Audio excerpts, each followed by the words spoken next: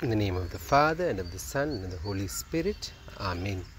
Dear friends, good morning. Hope you're all doing well.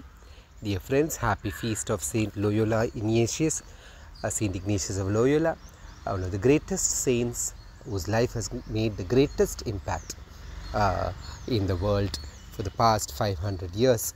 Uh, Loyola Ignatius was born in a Catholic family in in the Basque country of Spain.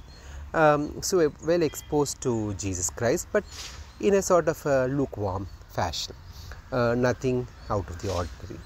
But he was more uh, caught up with the worldly things and worldly uh, ambitions, especially to be a great knight, a warrior, to win many uh, laurels, that sort of a life. But then, during his uh, recuperation after his wound, he realized the treasure that is Jesus, the treasure that is God, uh, the most valuable uh, pearl. And then, as we hear in today's gospel, he completely made a turnaround of his life. He gave up all these worldly uh, ambitions and rather uh, wanted to spend all his life as a warrior for God, for Jesus and uh, for that he did not leave any stone unturned. He lo- lost everything. He, he gave up everything. He sold everything uh, uh, very true to today's gospel. Uh, sold everything in order to gain this treasure.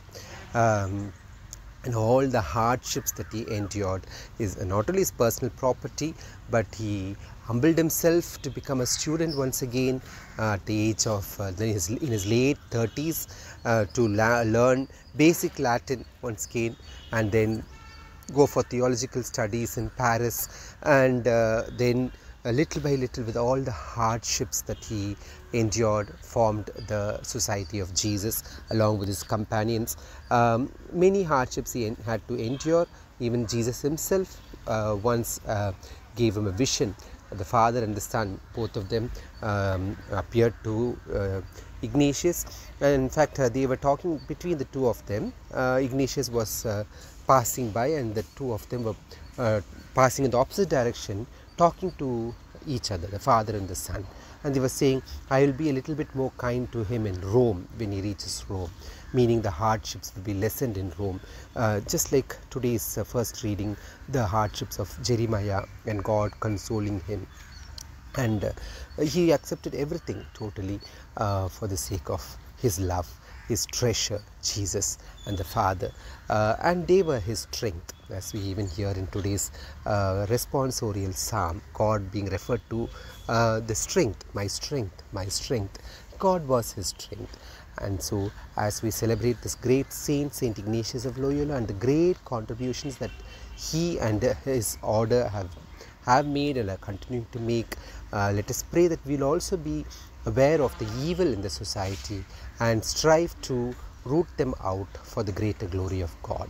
Heavenly Father, we thank you for this great servant of yours who knew that you are the treasure.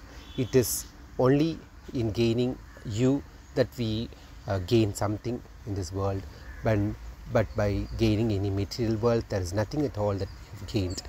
Help us to be like Him in rooting out evil and bringing in your kingdom values. We make this prayer through Jesus Christ, your Son, our Lord, who lives and reigns with you in the unity of the Holy Spirit, God forever and ever. Amen.